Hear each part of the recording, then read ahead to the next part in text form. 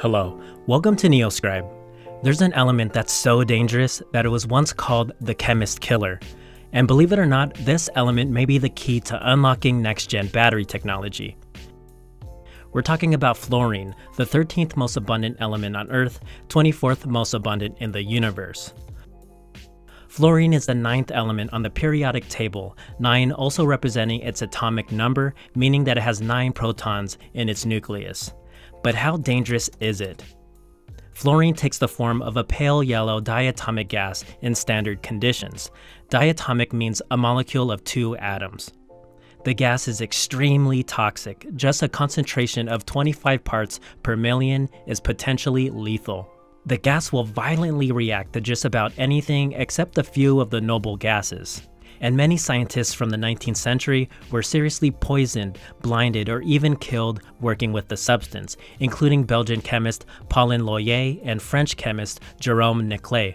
It all boils down to electronegativity, which refers to how easily an electron is attracted to an atom. And fluorine just so happens to be the most electronegative element known. You see, electrons orbit the nucleus of atoms at various distances depending on the energy level. Each level forms a shell. Each shell has a maximum number of electrons that it can hold, all the way to the most outer shell called the valence shell. Every atom wants to have the maximum amount of electrons in their valence shell because that makes the atom stable. And the closer an atom is to filling its valence shell, the stronger it will attract electrons from other atoms. Going back to fluorine, it has 7 electrons in its valence shell, and it just needs one more electron to fill it up, hence its electronegativity, and why it's so corrosive and dangerous. Alright, so what does this have to do with next-gen battery technology? Before you freak out about the thought of putting a highly reactive substance next to your ear, scientists is using fluoride, not fluorine.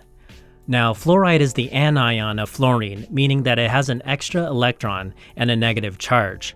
Fluoride is stable, having a full valence shell. Now let's turn our attention back to the awesome battery research. The research is a collaboration between esteemed research facilities, including the Honda Research Institute, Caltech, and NASA's Jet Propulsion Laboratory. The researchers have made a huge breakthrough in fluoride ion battery, or FIB technology. The chemistry behind FIB allows rechargeable batteries to have 8 times the energy density compared to current lithium ion batteries. Imagine having to charge your phone just one time a week or having an electric car with a 2000 kilometer range.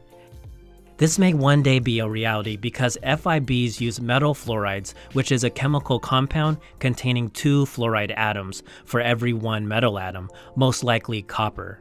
This means that the metal fluoride can transfer two electrons from just three atoms. The typical lithium-ion battery uses a lithium cobalt oxide compound that only has one lithium-ion atom for every cobalt and every two oxygen atoms. Lithium cobalt oxide can only transfer one electron from four atoms.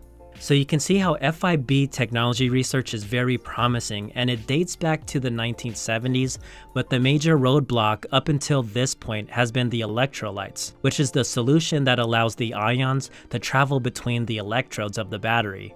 The issue with fluoride ions is that they have only been able to dissolve into solid electrolytes.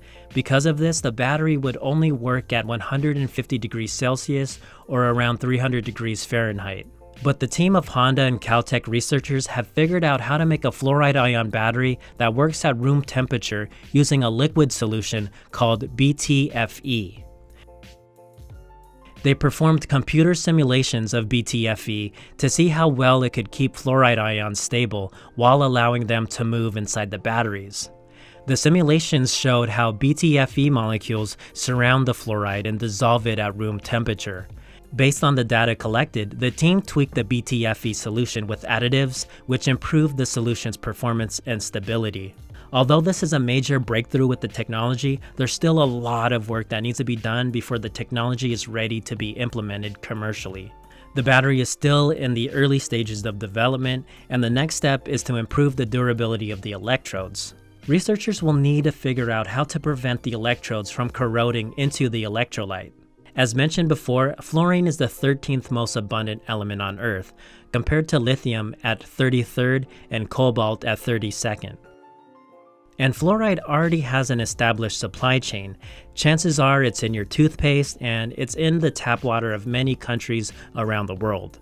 In other words, it's great that this technology is not based on some promising exotic material that is expensive to produce, that never leaves the lab, but I honestly don't see this technology being commercialized anytime soon. We may have to wait 5 to 10 years, it's tough to say at this point, but at least we have yet another next gen battery technology to keep our eye on.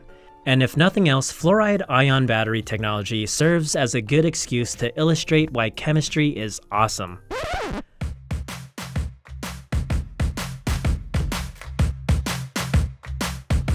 Alright, that's all I have for now. I hope you enjoyed your journey. If you did, please leave a like and subscribe.